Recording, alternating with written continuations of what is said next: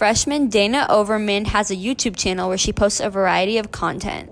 I wanted to start a YouTube channel because it was something just for fun, and then I really ended up liking it. A lot goes on behind the scenes to make each of Dayna's videos a success. Before each video starts, Dayna has to come up with the perfect idea.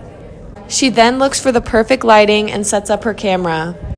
After she's done preparing, it's time to film her video. Dayna posts many different types of videos featuring her family and friends. It looks great.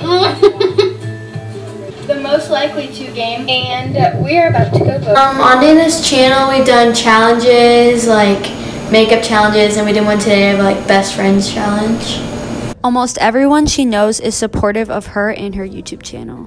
What I think of Dayna's YouTube channel is it's really cute. I love her intro. A lot of people who watch Dayna's videos love her style of editing. Her editing makes her videos a lot funnier. Hi, brothers.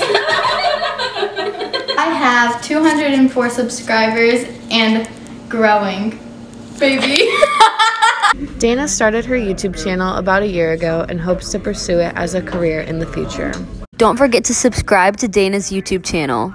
This has been Taylor Mason And Ellie Hahn. with the MWHS Wildcat News. Yay!